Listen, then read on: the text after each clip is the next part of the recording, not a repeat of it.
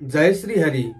आज हामी चर्चा गर्नेछौँ पौष कृष्ण औँसी यानि कि पौषे औँसी गया मौनी औँसीको बारेमा।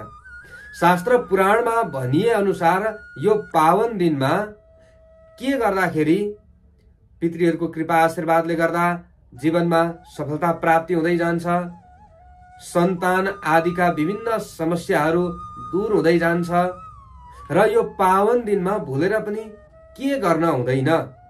कति बजे के काम गर्दाखेरि राम्रो हुन्छ?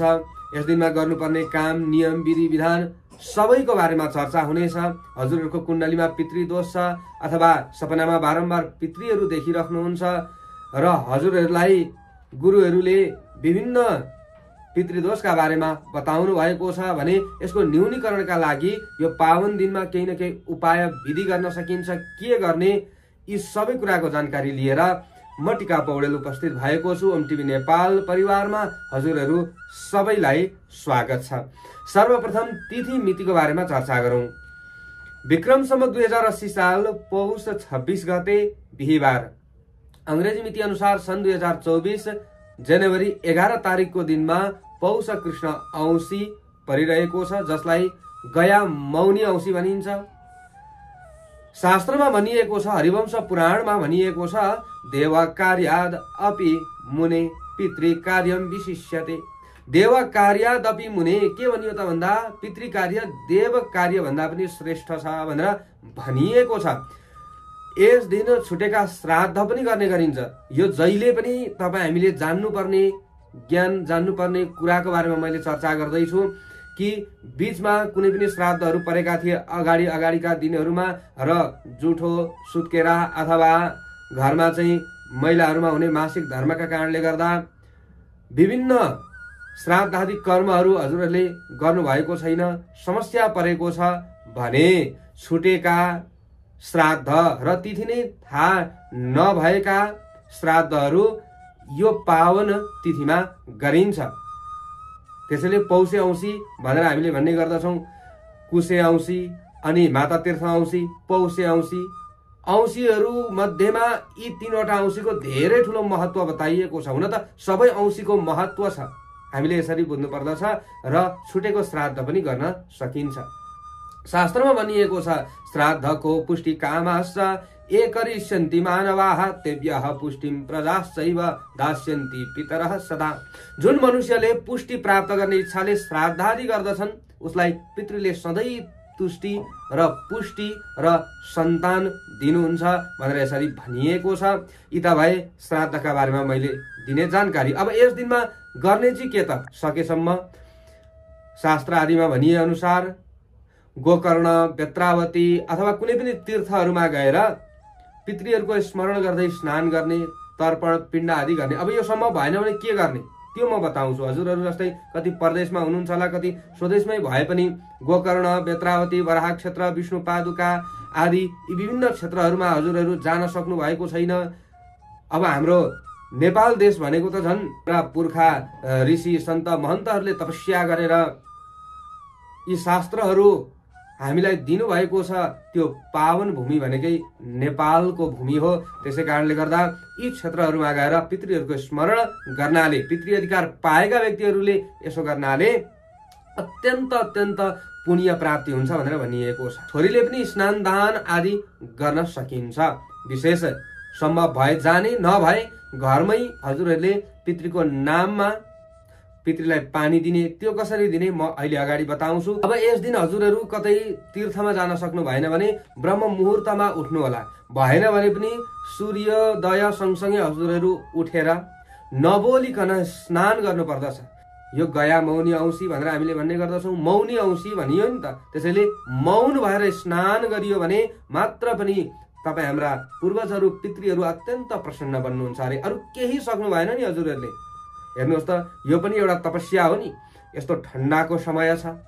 यो ठन्डी समयमा जाडो समयमा पनि नबोलिकन बिहानै उठेर स्नान गर्नु पनि एउटा मुख्य तपस्या नै यसलाई मान्न सकिन्छ। तपाईँ हामीले नित्य स्नान गर्नेलाई त अप्ठ्यारो हुँदैन तर हजुरहरूले नित्य स्नान कतिले नगरेर यस्ता पावन दिनहरूमा पनि स्नान गर्नुहुन्छ भने पनि तपाईँ हामीलाई कृपा मिल्दछ। त्यसैले हामीले बुझ्नु चाहिँ के पर्यो त भन्दा मौन भएर स्नान गर्नुपर्ने रहेछ। यस दिनमा हजुरहरू परदेशमा हुनुहुन्छ भने पनि हजुरहरूले आफूले मौन भएर स्नान गर्नुहोला पितृको स्मरण गर्दै स्नान गर्नुहोला सके त तीर्थ नदी खोला अथवा तलाउ आदिमा हजुरहरू जान सकिहाल्नुहुन्छ। त्यहाँ गएर पनि नबोलिकन हजुरहरूले स्नान गर्न सक्नुहुन्छ। यस दिन दानको अधिक महत्व छ। स्नान दान भनिन्छ नि औँसीको दिनमा। र पितृका लागि समर्पित भएर तपाईँ हामीले दान गर्न सक्दछौँ।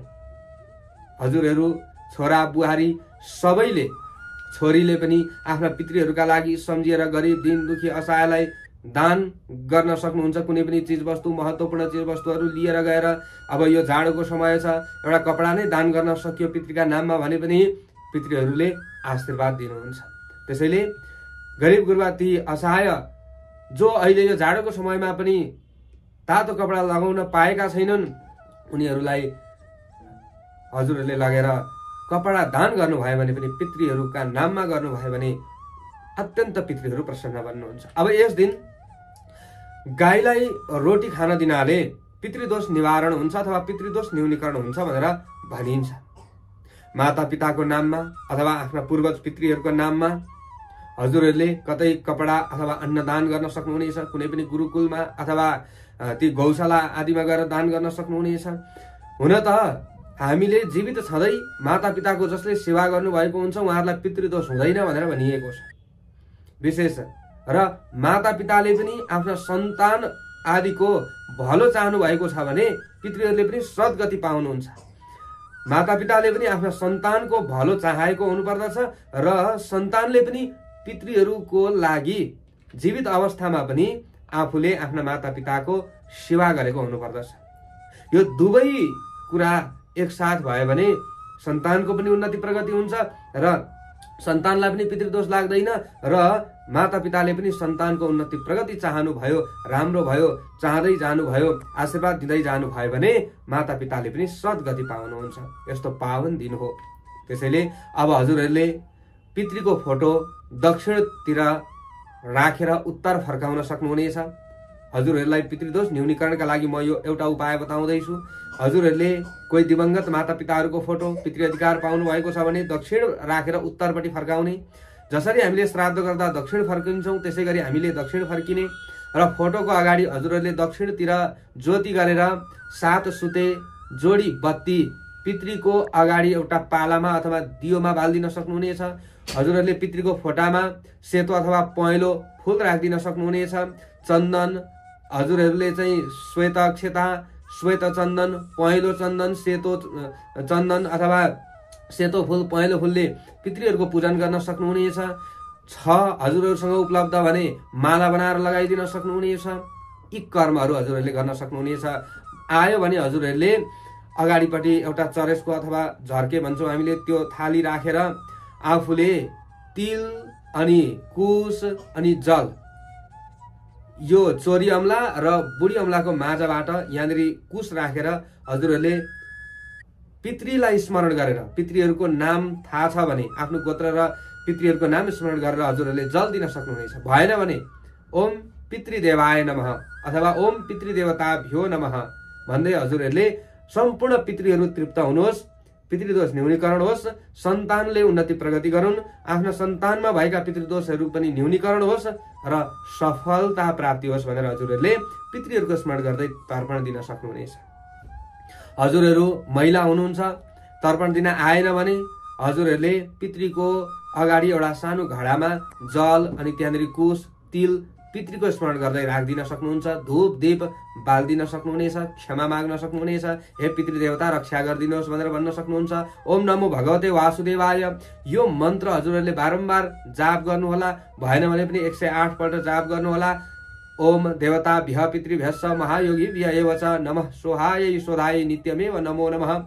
यो पितृ गायत्री मन्त्र उच्चारण गर्नुहोला जाप गर्नुहोला। भएन भने यो भिडियो बजाउनु होला बारम्बार। पितृ सुक्त गीता भागवत संस्कृतबाट पढ्न नआए सुन्ने प्रयास गर्नुहोला। अवश्य पनि राम्रो हुन्छ यसो गर्नाले। धेरै धेरै राम्रो हुन्छ र हाम्रा सन्तति आदिले पनि विशेष प्रगति गर्दै जान्छन्। यस दिनमा हामी किसान छौँ भने जमिन जोत्नु हुँदैन खन्नु हुँदैन जीवको हिंसा त कहिले पनि गर्नु हुँदैन। यस दिनमा त झन् झुक्केर पनि गर्न हुँदैन। घरमा कोही माग्ने आयो भने उनीहरूलाई अपमान गर्नु हुँदैन। केही दान दक्षिणा आदि दिएर पठाउनु पर्दछ। यी कर्महरू गर्नुहोला। भिडियोलाई धेरैभन्दा धेरै सेयर गरेर अरू सामान्यमा पनि पुर्याइदिनु होला यी कर्मले पितृदोष न्यूनीकरण हुँदै जान्छ। जय श्री